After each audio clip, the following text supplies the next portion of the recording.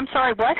Panic and chaos in this Walmart parking lot in Duncan. Frantic customers calling 911 as they watch the crime unfold in front of their eyes. Somebody was shot! Walmart parking lot! Police releasing calls today from witnesses who saw Wilberto Varela Jr. shoot his estranged wife, Rebecca Vesio Varela, and her boyfriend, Aubrey Perkins. They're in a red car, there's a guy laying on the ground.